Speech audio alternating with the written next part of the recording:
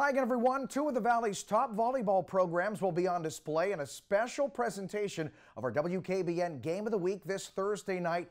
Canfield and Howland will face off in a rematch from earlier this season that saw the Tigers come out on top, snapping a 19 game losing streak to the Cardinals. Now, heading into this action, Howland recently snapped a two game losing streak. Meanwhile, Canfield has now won five straight matches, losing just one game in the process. And you can see Howland and Canfield battle it out in high school volleyball action live this Thursday night on MyYTV. We will also live stream it on WKBN.com and the WKBN mobile app. We hope you'll join us.